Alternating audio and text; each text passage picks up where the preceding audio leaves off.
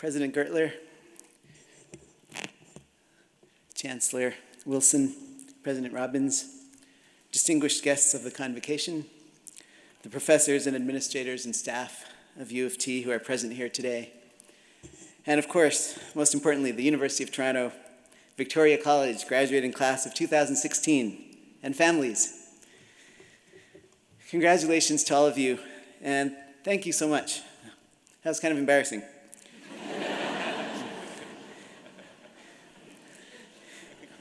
It's a real privilege and honor, and such a pleasure to be here back at the University of Toronto, this magnificent educational institution in this magnificent city of Canada on this grand occasion of your graduation.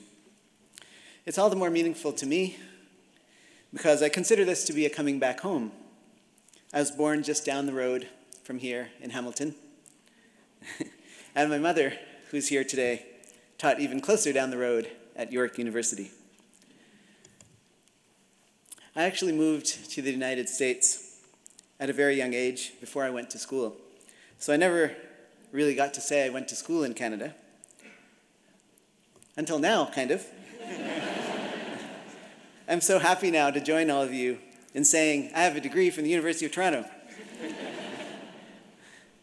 it really feels like my life has come full circle, coming back here to Toronto in that way. But actually, it's come full circle twice in just a full, in just a few months. Because I came back to Toronto just a few months ago in September for somewhat different reasons that some of you will already know, uh, but which I'll explain shortly. One reason that I'm happy to be back here is that all my life I've been a great fan of the liberal arts. Uh, and the University of Toronto, of course, has been a model in Canada of the liberal arts philosophy, giving students the opportunity to learn about many different fields of human endeavor so that they can enjoy and apply these varied fields to their lives. One never knows how a field that one learns might end up being used in one's life. And for me, that's happened on more than one occasion. My interest in mathematics actually rose in large part due to my early interests in language, in poetry, in music. I loved patterns in languages and in music. I loved looking for palindromes and spoonerisms. I loved composing sentences that didn't use the letter E if you've never tried that, I highly encourage it. it's pretty hard, but fun. uh, I enjoy that, generally the acrobatics of poetry and of, and of composing. And in particular, I love the rhythms of Indian music. I always hate to say this in front of students, but you're all graduating, uh, that I never liked school. and so I actually used to take off many months from grade school uh, and just go off to visit my grandparents in Jaipur, India. Uh, and I used to study there Sanskrit poetry with my grandfather. I used to study accounting and Hindi from my grandmother. And I used to study classical Indian music uh, from my family and from various teachers there. My favorite instrument uh, was the tabla, uh, which is the most commonly used percussion instrument uh, uh, in classical Indian music. It has very intricate finger uh, melodic rhythms, uh, which I loved.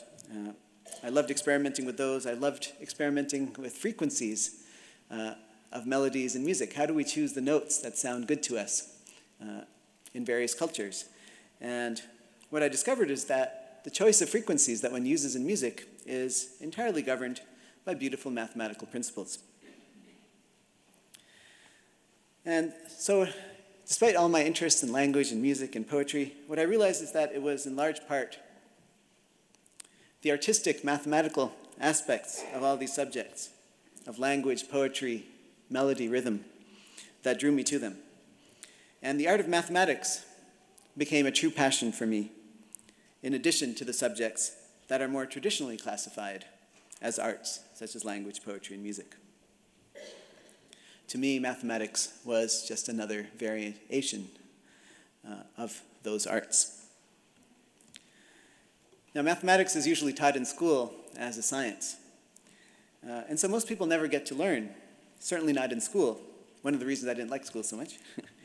uh, we don't normally get to learn in school that math is really a similarly creative subject as other arts, and that math has really historically played an important role in the development of the arts and the humanities.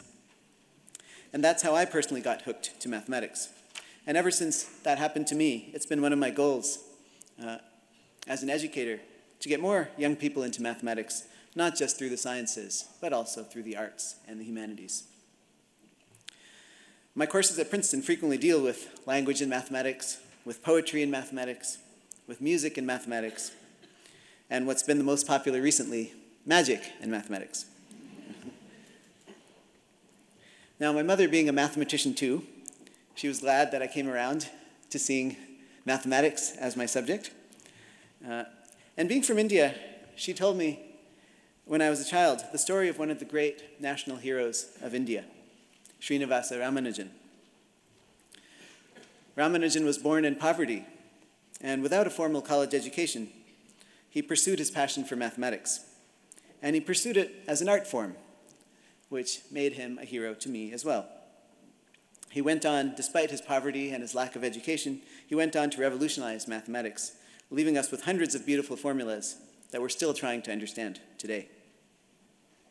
I still spend some of my time looking at his notebooks, trying to decipher further lines from his notebooks.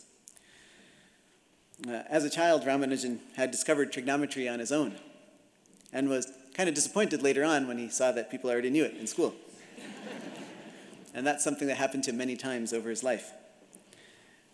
In the 1990s, the author, Robert Kanigel, wrote a best selling biography of Ramanujan.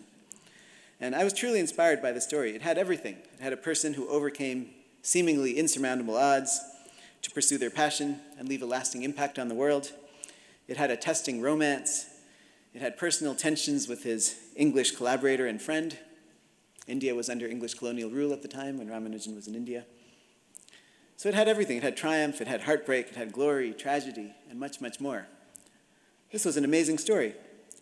And I remember being immensely inspired by the story, both at a personal level, his mathematics and his dedication to his art, but also at a global level and as an educator.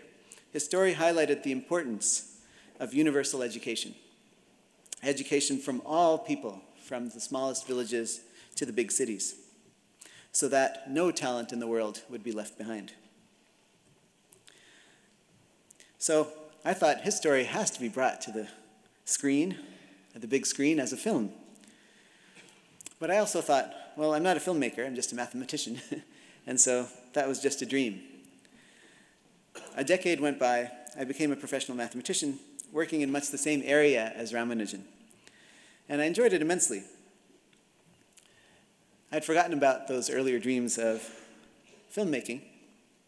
And then I got a call it was from a Hollywood scriptwriter who wanted to write a script about Ramanujan. He said he had heard about my interest in writing and the liberal arts, and of course, my interest in the mathematical work of Ramanujan. Would I be willing to help with the script?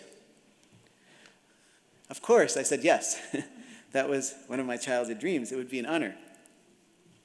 I worked on that for a couple of years, but unfortunately, that movie never came to be. That happens. You see, there are some difficulties in Hollywood in having such a story. First of all, having a non-white, non-white lead actor, that was strike one. The fact that he was a mathematician, that was strike two. but strike three was kind of interesting.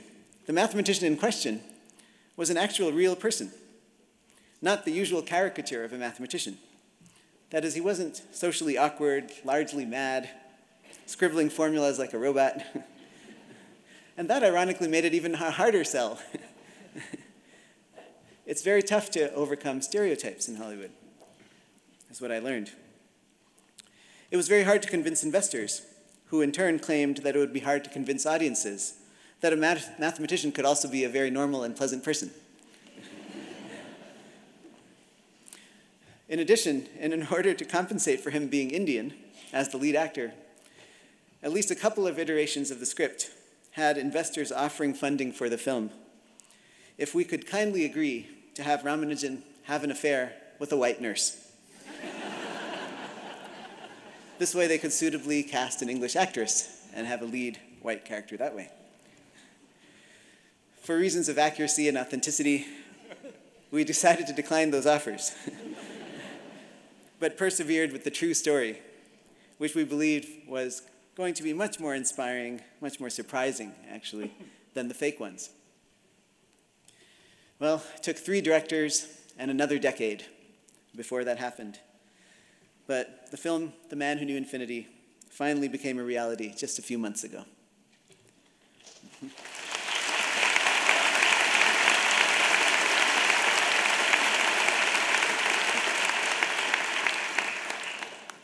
Dev Patel of Slumdog Millionaire plays Ramanujan, and Academy Award winner Jeremy Irons plays his Cambridge collaborator Hardy. It's a real testament to them that they came in on such a low budget film, given that we couldn't find investors, as I mentioned before. also, Dev would have been too young a decade ago, so that kind of worked out. Matt Brown is the writer of the film, and the legendary Ed Pressman, who has produced over 75 films, is the producer. I served as an associate producer on the film as well, along with another mathematician and Ramanujan expert, Ken Ono. It was a passion project for all of us, and a real joy for all of us to bring it to completion. And the film had its world premiere, amazingly enough. This is why I was saying this is my second homecoming in the year.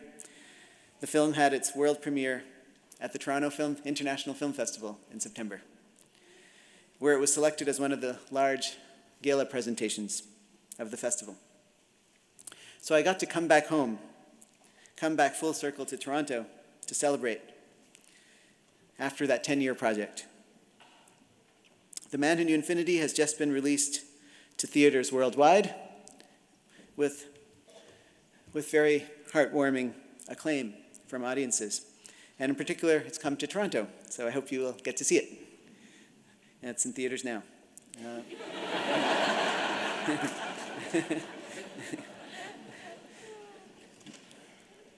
from, aside from plugging the film, the point I wanted to make here is that you never know where life will take you, what opportunities it might present to you, or how you might be able to use what you've learned, sometimes in completely unexpected realms.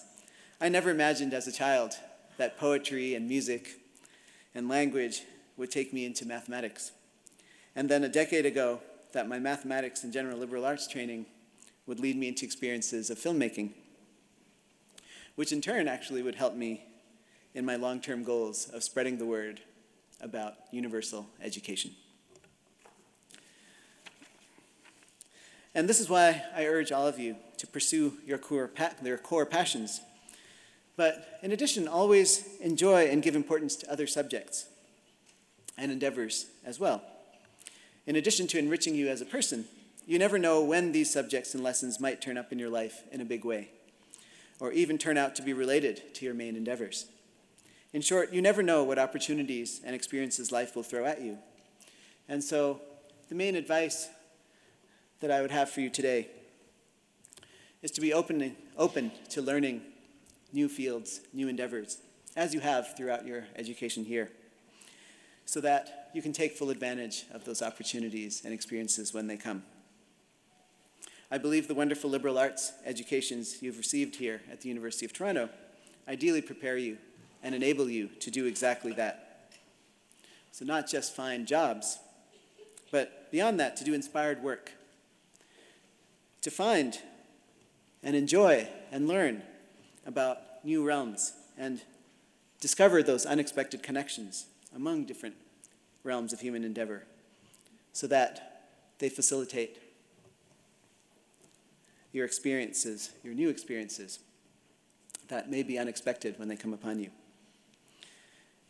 And you can use your experiences to continue to have fun with these subjects, to make new friends and cherish old ones as well, to take care of your family and friends and others and of course, in general, to do good work for the world.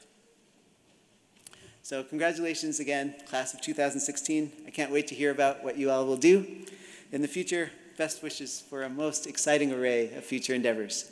Thank you so much.